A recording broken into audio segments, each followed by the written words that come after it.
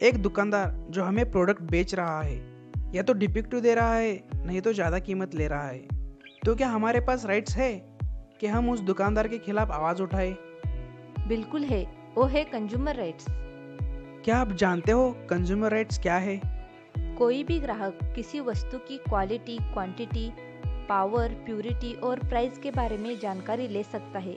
इसे consumer rights कहते हैं।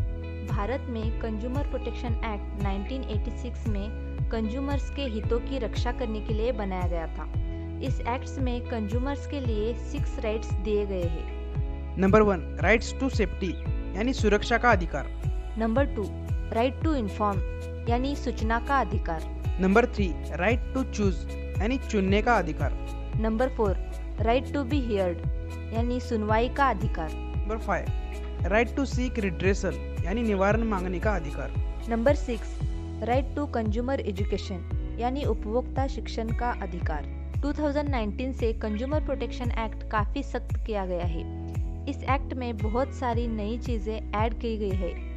कंज्यूमर्स को नए पाँच राइट्स दिए गए हैं। Number one right to file complaint from anywhere मतलब कहीं से भी शिकायत दर्ज करने का अधिकार। अकॉर्डिंग टू दिस राइट्स एक कंज्यूमर चाहे तो कहीं से भी एक कंज्यूमर कोर्ट में कंप्लेंट फ़ाइल कर सकता है। चलिए इस एक्ट को समझने के लिए एक एग्जांपल लेते हैं। आप दिल्ली से कुछ सामान खरीदते हैं। बट आप रहने वाले मुंबई के हो। और जो ओनर है, वो दिल्ली से है। तो आपको दिल्ली जाने की ज़रूरत नहीं है। आप मुंबई से भी उसके खिलाफ कंप्लेंट कर सकते हैं। आप घर ऑफ़िस या वीकेंड ट्रिप कहीं से भी आप अपनी शिकायत दर्ज कर सकते हैं। Number two right to protect consumer as a class मतलब एक वर्ग के रूप में कंज्यूमर को प्रोटेक्ट करने का अधिकार। इस राइट के अंडर एक कंज्यूमर को कम्युनिटी का एक पार्ट माना गया है। अगर कंज्यूमर को लगता है कि उसका कोई भी राइट्स वायलेट हुआ है यानी किसी भी राइट्स का उल्लंघन हुआ है या फिर एज ए कंज्यूमर आपको लगता है कि कोई चीज़ इलीगल है तो आप कंप्लेंट फ़ाइल कर सकते हैं। इस एक्ट के अंडर मिसलीडिंग ऑफ़ एडवर्टाइजमेंट भी आता है। अगर आपने कोई एडवर्टाइजमेंट देख के कोई सामान खरीदते हो बट खरीदने के बाद वो अकॉर्डिंग टू एक्सपेक्टेशन नहीं मिलता तो आप इसके बेसिस पे भी कंप्लेंट कर सकते हैं। Number three right to seek compensation under product liability मतलब उत्पाद के ज़िम्मेदारी के बेसिस पर आप नुकसान भरपाई की मांग कर सकते हैं।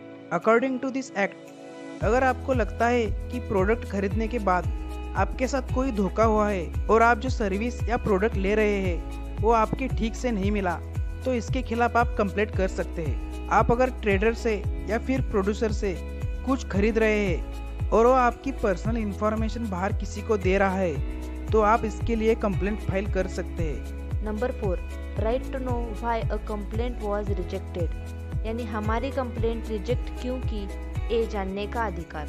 बहुत बार ऐसा होता है कि आप कंप्लेंट तो करते हो लेकिन कम्युनिटी आपका कंप्लेंट रिजेक्ट कर देती है। पहले आपके पास ये जानने का हक नहीं था कि आपकी कंप्लेंट क्यों रिजेक्ट हुई। बट अब आपके पास ये राइट्स है। आप जान सकते हैं कि किस बेसिस पर आपका कंप्लेंट रिजेक्ट किया गया है। Number five right to seek hearing through video conferencing मतलब वीडियो कॉन्फ्रेंसिंग के हेल्प से सुनवाई का अधिकार।